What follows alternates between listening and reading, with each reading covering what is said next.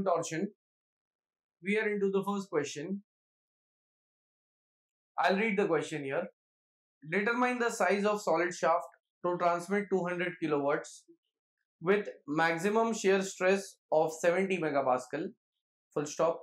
If the shaft rotates at 20 rpm and at 2000 rpm. Now this is the question which we it is 20,000 rpm. This is the question which we have. So whatever is given, I'll write that in the form of data.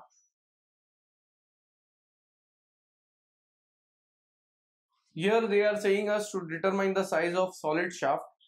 Size of solid shaft means the diameter of the shaft. To transmit 200 kilowatts power, this 200 kilowatts we will convert it into watts. So it is 200 into 10 raised to 3 watts with maximum shear stress of 70 it is fs. 70 megapascal. If the shaft rotates at the first condition is speed i'll say n1 it is 20 rpm and the second condition is speed is 20000 rpm so this is the question which we have in front of us. Now based on this, we will solve the question. Now, the solution is, since power is given, I'll say that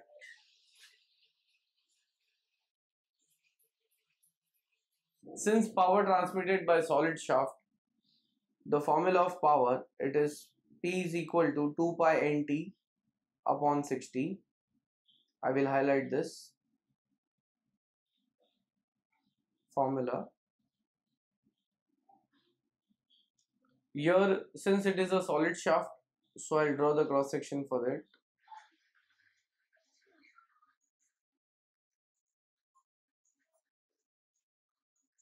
And this diameter is what we have to calculate here. Now I'll say that therefore power is given the value is 200 into 10 raised to 3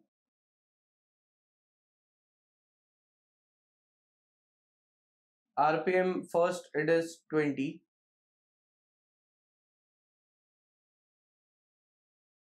so therefore t is equal to 200 into 10 raised to 3 multiplied by 60 divided by 2 pi into 20 so here I will be getting my answer of torque as it comes out to be 95.5 into 10 raised to 3 Newton meter. And I'll keep it in terms of Newton mm. So it is 95.5 into 10 raised to 6 Newton millimeter now once I know this value of torque, as we can see in this problem, Fs shear stress is given. So I will be using the strength criteria. I'll say that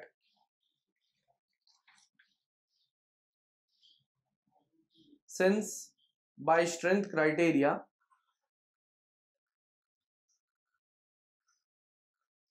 we have the formula as T by J is equal to Fs by R.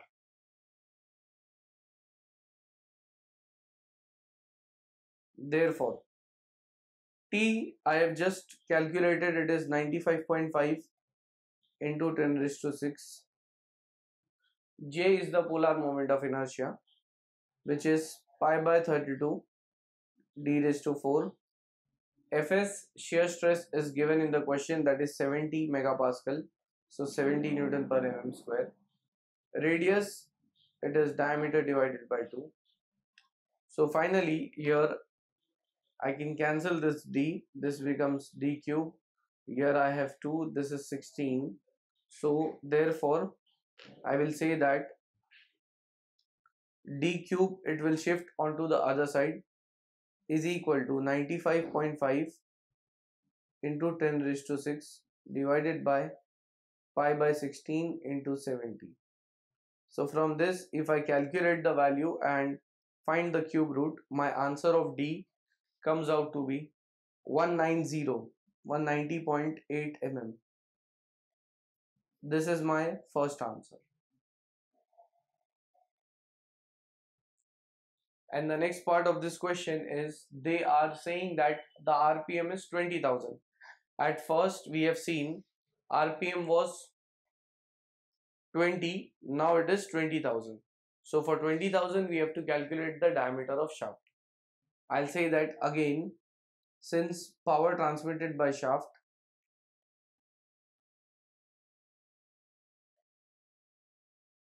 it is given by 2 pi nt upon 60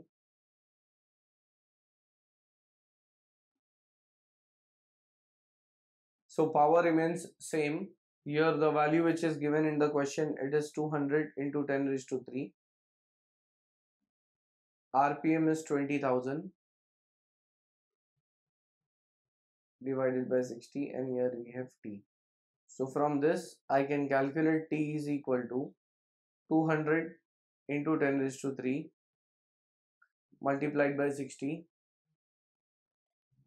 divided by 2 pi into 20,000 so therefore here I will be getting my answer of torque as 95.5 Newton meter which I will convert. So it becomes 95.5 into 10 raised to 3 Newton millimeter. Now again I will use the strength criteria. I'll say that since by strength criteria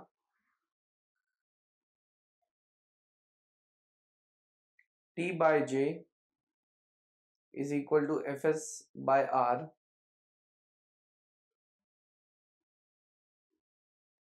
Therefore torque I have just now calculated it is 95.5 into 10 raised to 3 j is pi by 32 d raised to 4 fs is 70 radius is diameter by 2